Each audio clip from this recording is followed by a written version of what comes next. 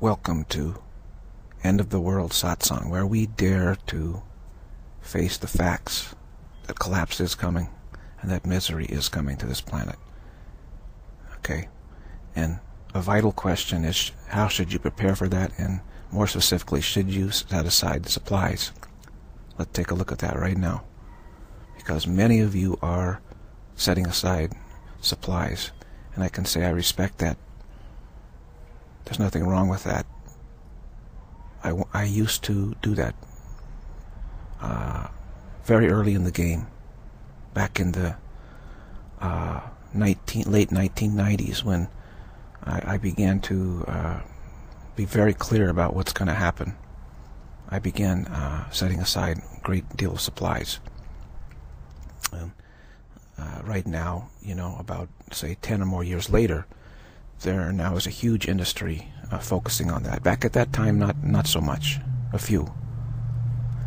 Now, so I'm familiar with this. What I found out eventually was, as I had all these supplies, and I was thinking, okay, I'm set, I'm good.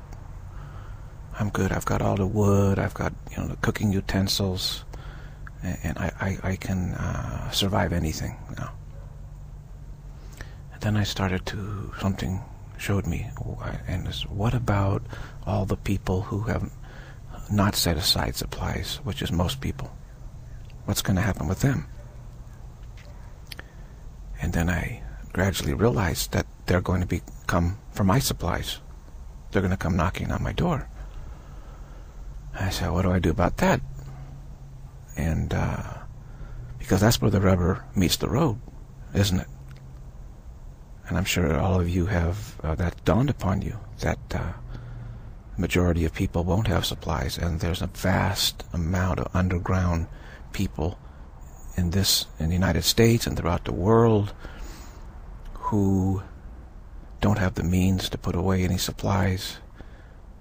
And but they're very tough survival survival type of people. And if you have supplies they're going to come looking for your supplies and if you don't share the supplies with them they're going to try to take the supplies we all know that so for me, the question became, how willing am I to fight for those supplies? And if necessary, use uh, force, even deadly force, to protect those supplies? That, that became the question. And for me, it was very easy to answer that question because I said, I, I won't use deadly force. No way. Uh, I'll share. And uh, I, I would for me, I just will share whatever I have with if those who, who are more needy than me. I'll share, and that, if that means me running out more quickly, well, then that's that's what would happen. But you know very well that when you start sharing with others, they're going to say, "Hey, thank you very much, but look, now there's uh, me and you sharing this cache of food." But what about all the others that are? And they're going to say, listen, i will tell you what, I'm going to protect this cache from anybody else coming in. And then, therefore, they introduce the defensiveness and the violence. You can't get away from it. Even if you're a very peaceful person, others, and you have a lot to share, others will take it upon themselves to protect what you have from even greater encroachment. It's really a, a, a conundrum, isn't it? And so, of course, if you really plan on surviving, you're also going to be planning on protecting what you have at all costs from those who will try to take it from you. I guarantee you there will be hordes of people. And I, I'm aware of those types of people, and they're very, very tough, uh, clever, survival type of people who are used to uh, taking what has to be taken. Okay? And so it's no easy task uh, protecting yourself. No easy task at all. And the question is, are you up for the fight? And for me, the answer was, was clear, no, no way, no way. So I, I basically toned down my, you know, the preparation of supplies and have let it, put it on the back burner, and it's, it's not an issue for me anymore. I, I don't, uh, have not gone full bore into it. My stance is I'm is that I'm going to lose it anyway. I know the people are going to come for it, And uh, you know, if they want it, if they if they're so desperate to you know to survive in, in, a, a few more years in this world, then then let them let them do that if that's what they really want, because ultimately, this collapse that's coming is just the beginning. The economic and financial collapse is actually just the, the first strong uh, act of this play that's that's going to uh, unfold. It's really the unraveling of this planet, and after and after that is going to come the cosmic instability. And even if you survive the economic instability, surviving the cosmic instability is a whole different ball game. I'll tell you that. However, I, I do believe if you really feel like it's important to you to protect your family and loved ones and have supplies, etc., then that's what you should do. I have no problem with that. And if you feel like you want to protect all of that through any means possible, including deadly force, if that's what you really feel, then I also have no problem with that. But you know, how pathetic uh, is it and how uh, ungraceful is it that we be reduced to uh, I don't want to say dogs because the animal lovers will get upset about that, but you know the analogy of, of animals uh, like hyenas, jackals fighting over uh, scraps of food, you know, willing to kill each other over a scrap of food, and that uh, human beingness would be reduced to, to such uh, such stock like that. It's really pathetic. Really, it's so incredibly undignified. You know that when the collapse happens, there's going to be mass migrations from, from areas that don't have anything into areas that do have, all over the planet. So wherever you are, people are going to come looking for you if you have supplies. There's no doubt about that and, and of course some will uh, successfully uh, hide away. Some will go under the ground. There are some who have already planned for that and are going to disappear uh, beneath the surface of the planet and have supplies there, and they'll be relatively safe there. But most uh, don't have that set up, so they will be uh, uh, battling it out here. And you know that's it is what it is. So my hope for all of you is that it doesn't come to that, where you have to make those really very, very tough choices.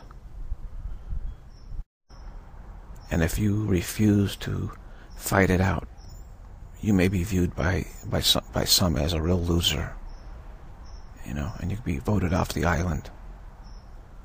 But uh, I tell you, you're not, you're not such a loser uh, in truth. It may be uh, the higher choice by far and away. It could very well be that those who are completely willing to share whatever they have with, with whoever needs it, they might find themselves uh, leaving everything behind and finding themselves in a different situation altogether where there's abundance. It could very well happen like that. I tell you this, existence is full of surprises and even beyond existence, reality, the totality of reality is full of surprises.